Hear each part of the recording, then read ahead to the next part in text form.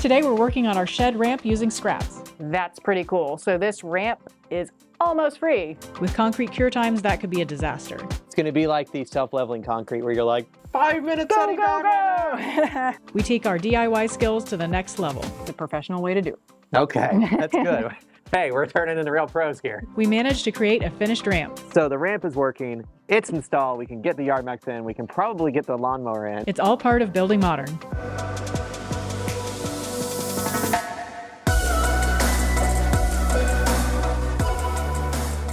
Good morning. Good morning. Today is another day on the shed build. Yep, yesterday we finished up the small roof, which was the final bit of the main portion of our shed.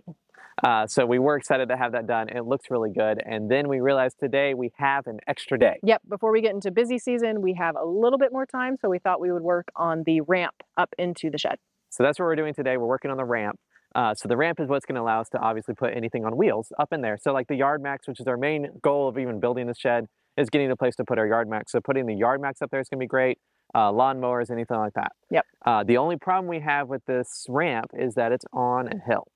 Uh, so it's at a slope. It's about an eight inch difference, which means we'll have to dig into the dirt and then uh, we'll have to fill in and all that sort of stuff. Yeah, and when we say a, a slope, it's from side to side, not forward to backwards. Right. Yeah, Well, it's kind of both.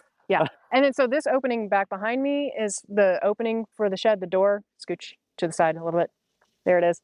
Uh, and that's around seven feet. And so what we're going to do instead of doing ramp and some steps, we're going to do the ramp across the whole thing because I think that'll just look better. Right. Uh, so it is a lot to do. So we better get started. All right.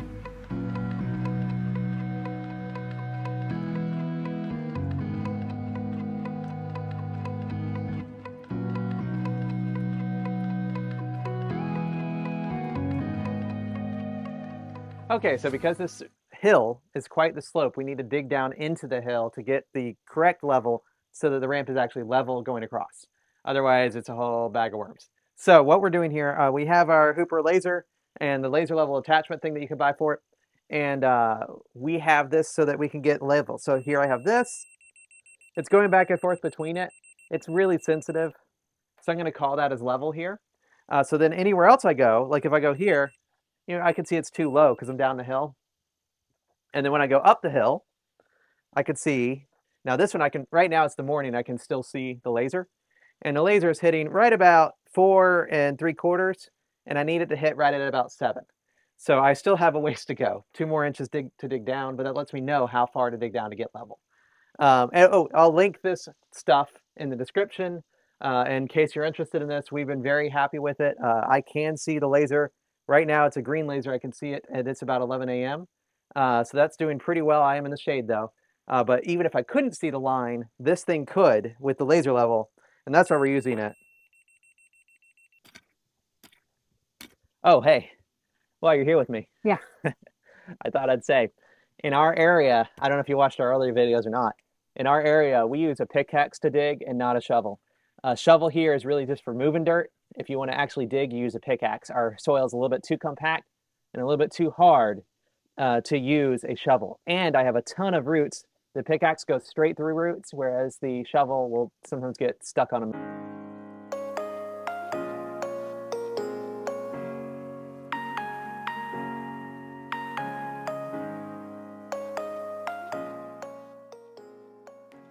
Okay, so now that the hole is dug, I need to tamp it down with this tamper. Uh, this is a not so heavy tamper. It's not too bad, uh, but I tamped down the dirt so that way it's more compact. It was already pretty compact, so I'm really just tamping down what I loosened up. Well, and you were using that flat shovel, which helps make the hole flat too. Right. Um, it turns out I'm not good at keeping level. Uh, so what we have here is basically everything now is below the point that we're starting at. Uh, and the reason for that is that we want to fill up uh, with concrete up to where we'll have uh, the supports, uh, the actual beams coming down. Uh, we've seen this method at uh, Perkin Building Brothers. They do this for pretty much every single set of stairs they have, and they don't seem to have issues with it. So that's what we're going to do. I realize that putting the PT ground contact, those pressure treated ground contact boards, in contact with cement and in contact with the dirt is going to shorten the life of the ramp overall. However, honestly, it's going to be a difference of what, 10, 15 years? It's going to last at least 10 years, if not longer. We should be fine. All right, so I am trimming out all of these roots out of our hole here. Uh, we just don't want any organic matter in there with the concrete. And I am using my crummy uh, pruners. So I wouldn't be doing this with my nice set of pruners that I'd use on trees. These are these pruners have been demoted to uh, roots and groundwork.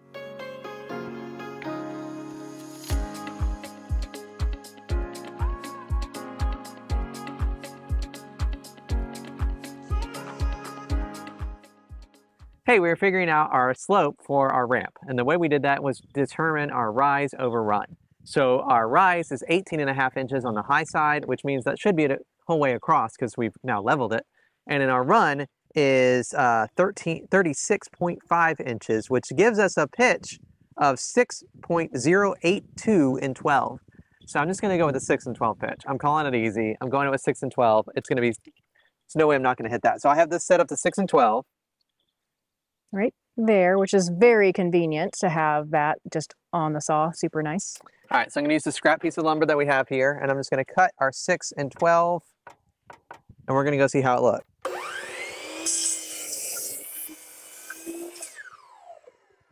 Does it fit? Yes.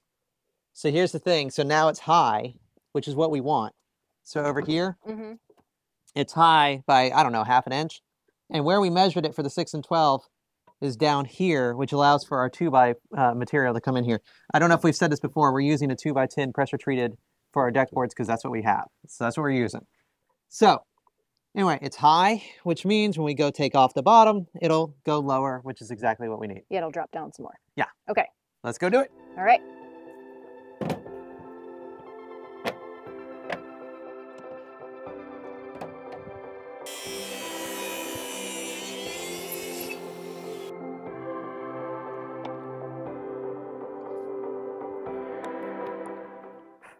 Hopefully that works. We'll go see. All right, let's see if this works. All right, that's exactly, I think, right around where we wanted it to land. Yeah, I just Uh, got to dig more holes. We just have to dig more out right here. Okay, so I'll mark out the 16 on center. I'm going to dig the trenches where those are. While I'm doing that, Anna's going to go down and she's going to cut all the other boards to size. Yep. Right? Yep. That's the game plan. Using that one as a template. Using the first one as the template. Yep. All right. And then uh, over here on this right side, we might do extra ones. I might do two extra ones just in case, at least digging out wise, so that uh, that's where the yard max is going to go up and down and it's extra heavy. Yeah, and we have jo- extra joists doubled up in here too. So we have like here's some joists, three in a row that are like super close to each other. You can see where the nails are. All right, let's get to it. All right.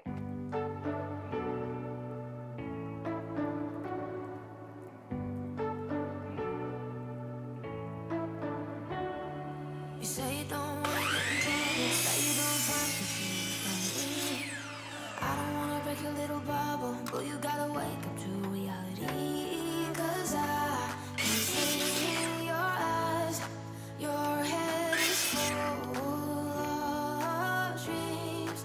Tears are. Okay, guys. So I finished uh, making the dirt ready as much as I could.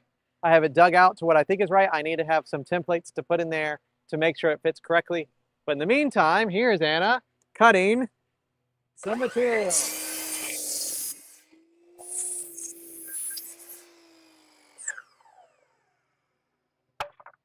Are you you're happy about this that it's working? Yeah, it's although it's hard moving around pressure treated material, it's heavy, Heavy and not straight.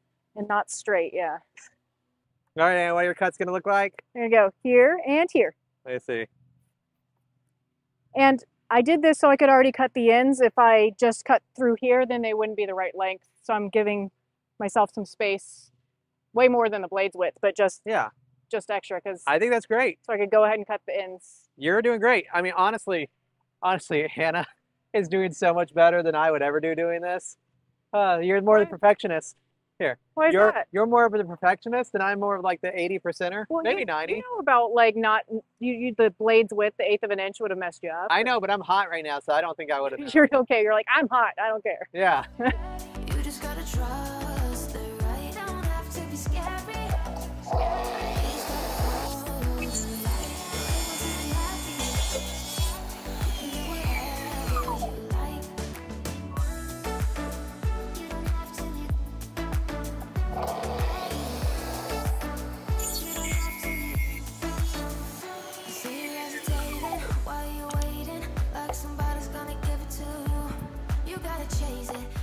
right, so now that I have all of my pieces cut, both ends at the correct angles, I am now going to cut out this notch right here.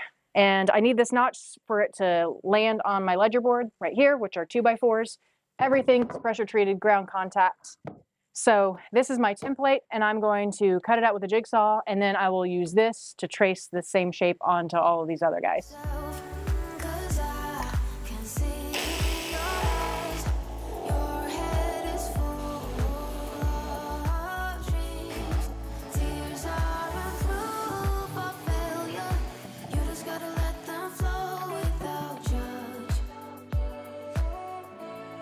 All right, that looks all right, but I don't really want to be doing that for the whole other cut.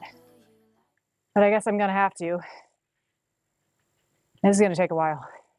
I think what I'm gonna do is try to go over to the miter saw and cut the majority of this line with the miter saw and then maybe finish it up with the jigsaw because I think this would just take forever on the jigsaw. This pressure treated wood is super dense.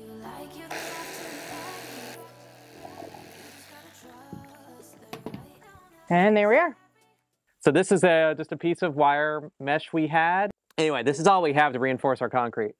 Uh, we could scrounge around and see if we have anything else. I'll go scrounge around for a few other things while you do this, okay? Just sort of random bars and things in here. Yeah, that's, Fine. well, okay, hey, look. So we're copying this idea of putting the concrete in here after uh, Perkins, like you put it down and then you put concrete, like Perkins Builders Brothers. Yeah, yeah. Okay, so the Perkins Building Brothers, Builder brothers. Builder Brothers. Yeah. Okay, so they, they, them.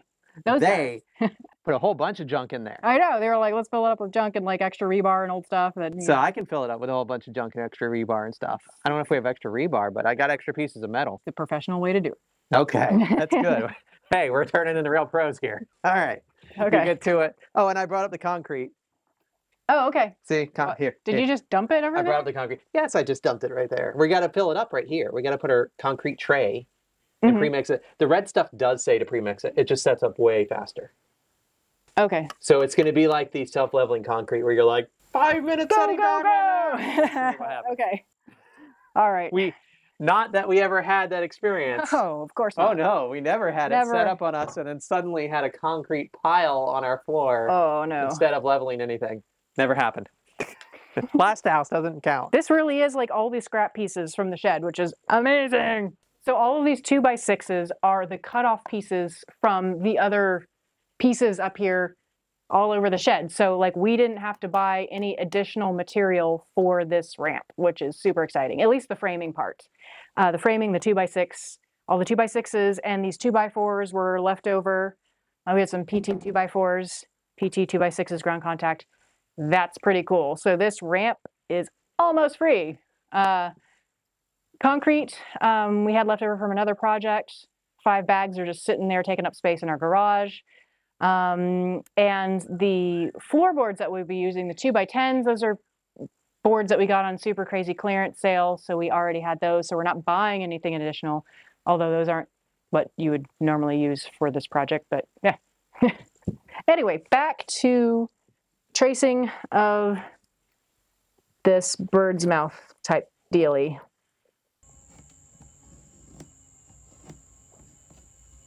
Oh, and when I'm doing this, I am trying to line up the top edge of my boards just to make sure it's nice and square when I go to transfer this line.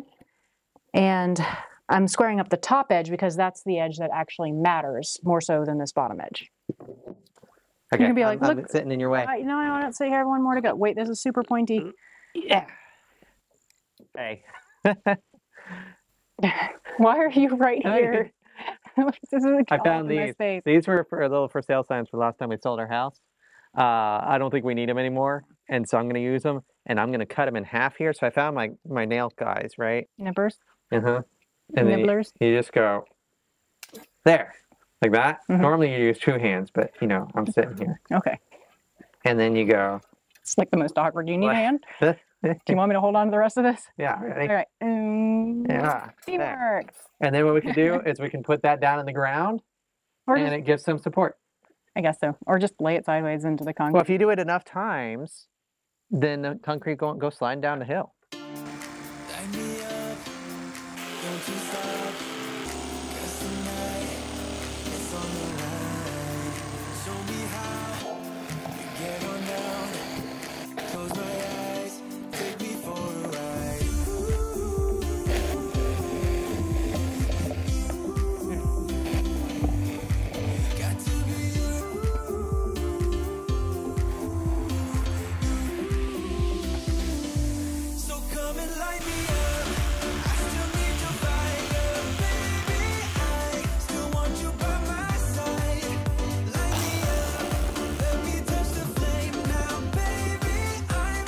One.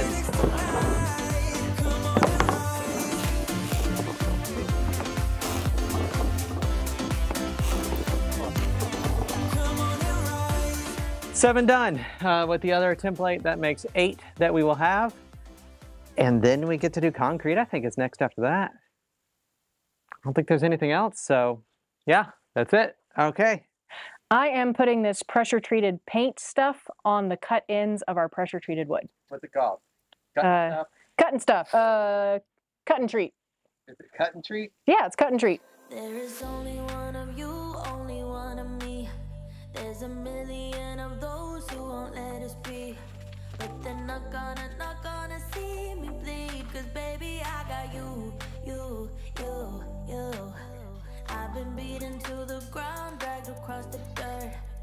I've been scared to live cause some people never learn. But they're not gonna, not gonna watch me burn. Cause baby, I got you, you, you, you. It's a new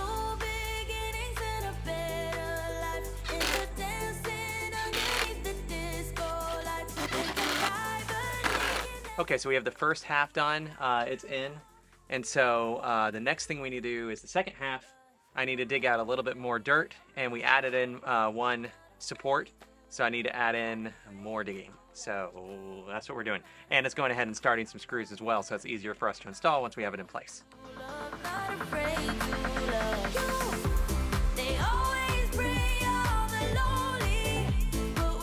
Okay, holes are dug out. Now we got to buzz off a few roots, and then we're good to go.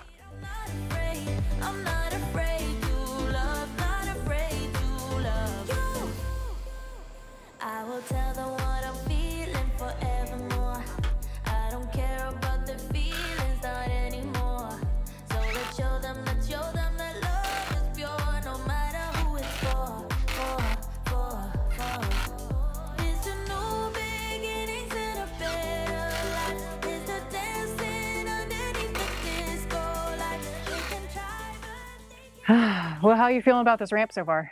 Uh, it's about the same amount of work as I thought it would be. Oh, it's a lot more work than Oh, I, I was hoping it wouldn't be too much work, but it's it's a fair amount. Mhm. Uh, so let's update everybody on what's going on. So Right. We've done all the wood part of the ramp, and next is the concrete part. yes, so uh, right now we have one, two, three, four, five, six, seven, eight. What are they called? Supports. They're kind of joists, sort of. They're ramp. Eight pieces of wood going from the shed down to the ground. Yeah. And they're all hovering a few inches off the ground, and that's on purpose. Mhm. Uh, so we've got that set. We have them set on a cleat system, uh, which is a piece of two by four pressure treated that they're sitting on, and that's that's screwed into the wall. So hopefully that gives it some structural support. They're also screwed in from the other side and screwed in from the other side. Screws everywhere. Yeah, uh, they are. They Well, we also, and to keep them in line with each other, we put a temporary two by four across the whole thing to make them all in line with each other. Right. So that way, when we pour the concrete under them, some aren't shifted in a weird way. They'll be shifted together. Right. Ideally, it's just at least a straight line. I don't care if they're level. I just want them straight. Yeah. So next up is concrete. Uh, so what we have right now is we have Quikrete fast setting concrete, which on the bag doesn't say how quickly it sets. It's just like floor leveler for your house. Yeah. So that we've done, had this problem before with floor level, Fast. self-leveling concrete for floors on the interior. Uh, it just says fast setting. It doesn't say how. Fast. It means very rapid. pro tip. like ultra rapid. pro tip when they say fast setting for that stuff that's like two to five minutes and it's it's starting to set up Yeah. this stuff says it's completely cured in 20 to 40 minutes depending on the temperature That's super fast. So they said in extremely hot weather add ice cubes and in ext- and we've done that before for cement Yeah, we have. and in extremely cold weather uh, add hot water so we're kind of middle of the road here it's probably what 80 degrees right now 85 Yeah, probably 80. so like it's probably towards the warmer temperature so i'm going to do this in multiple batches we have five bags total We just need it to go up to the bottom of these pieces of wood. That's so right. it doesn't need to fill. And so the idea here, and let's talk about the idea. So this came from Perkin Builders Brothers. Uh, which we like their channel. We watch them a lot. The thing that we like a lot, uh, they did it where they do stairs this way, where they set the stairs, they put it in place, they put like a piece of board to hold it in place, and then they just fill the concrete up to the bottom, Genius. and then it just cures. I like it. And then there you go. You don't have to. You don't have to figure out. Oh, well, this math and all this stuff. You just set it up how you want it. Mhm.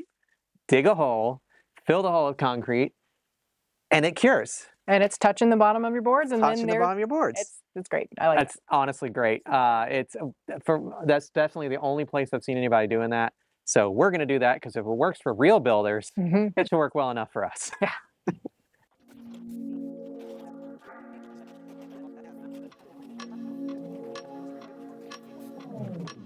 Strange brew is what we're.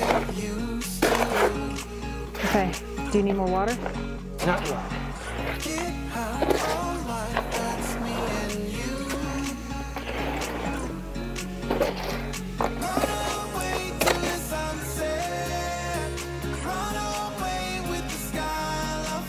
Ready? One, two.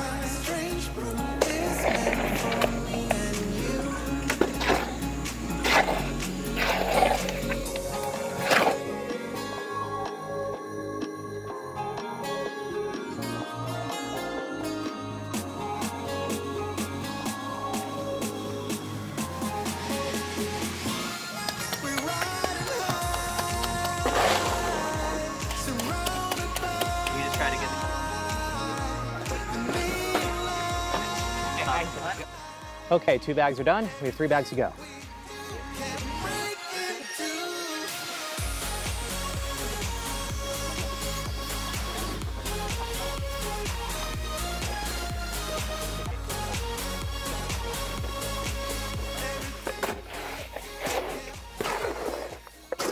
This looks about right. so this is about right consistency for uh, how wet the concrete mix needs to be For what we want. For our purposes. We want it to flow a little bit so we can pour it in there.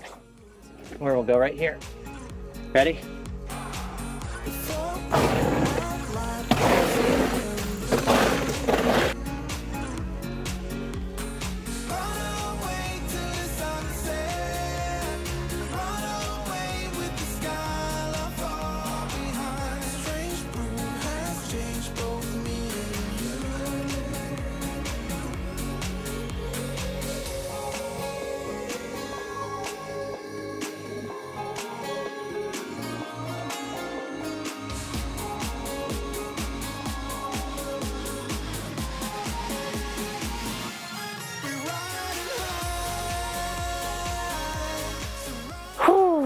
well, that was a lot.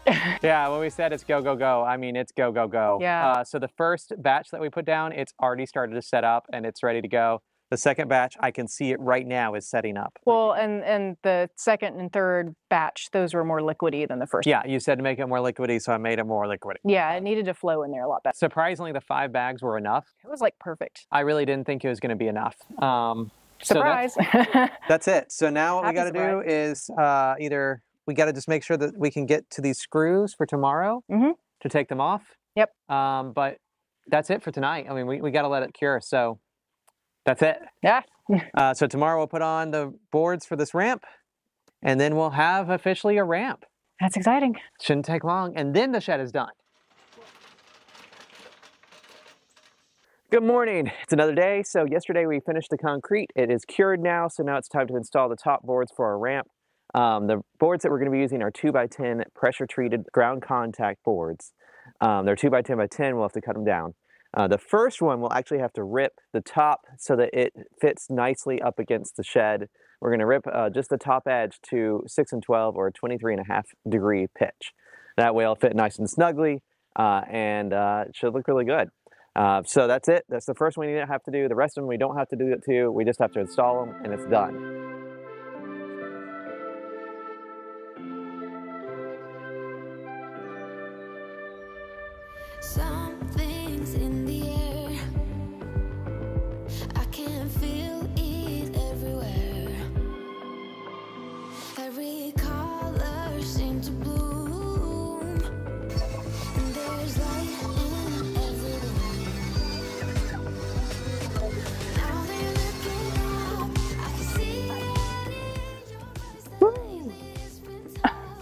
I'm glad we only have to do that once. Well, that's quite heavy. You want to go see if it fits? Yeah, let's go see if it fits. There's been new people. There's summer. Aha! Look at that. Yeah, that looks pretty good.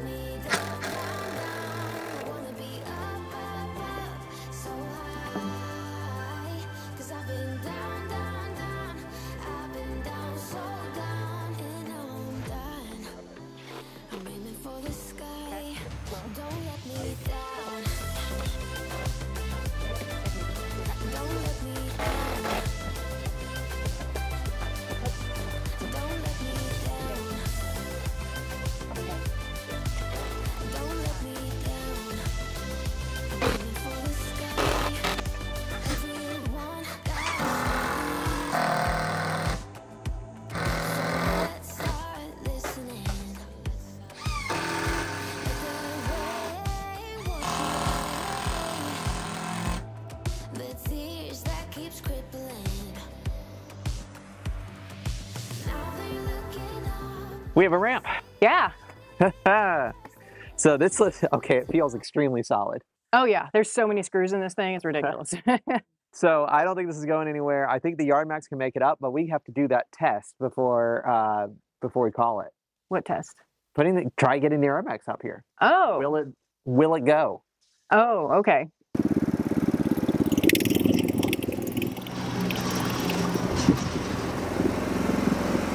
Okay, everybody. So test was successful. The yard max made it into the shed without aggressively. a bit aggressive, but it didn't have any major issues.